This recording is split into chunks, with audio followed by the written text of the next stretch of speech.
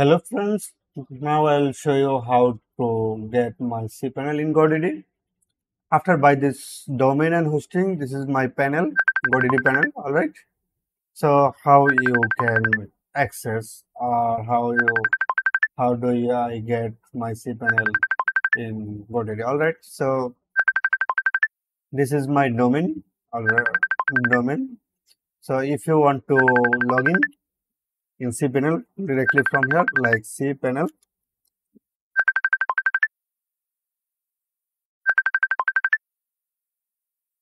So what will be your username and password? I don't know. So if you want to manage this one, then you can just uh, click hosting manage. Then you will see some option like this is username. You can copy and paste here. Now i don't know password so i need to set up new password. So password you can manage from here or you can generate from here.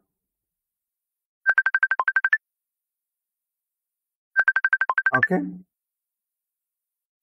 can generate from here then you can copy here then change password.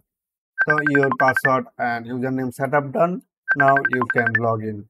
All right now you can paste password then login so your login successfully done. And that's it and thank you for the watching.